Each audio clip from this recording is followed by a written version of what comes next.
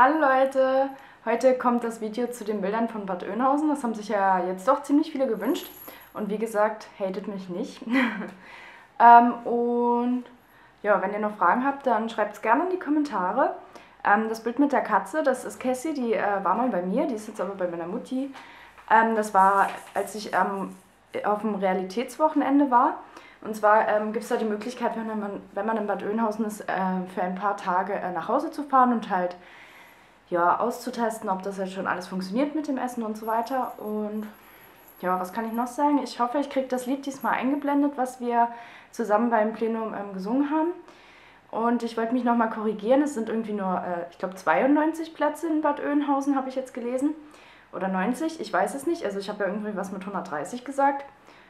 Ähm, ja, ich glaube, das äh, war soweit. Äh, ja, ich hoffe, es gefällt euch und ja, viel Spaß.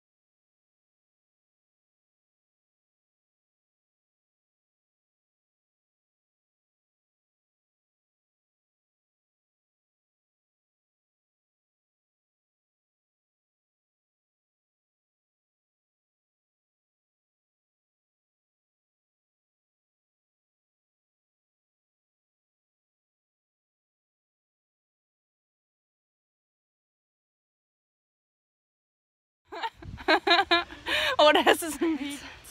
Zwei, drei.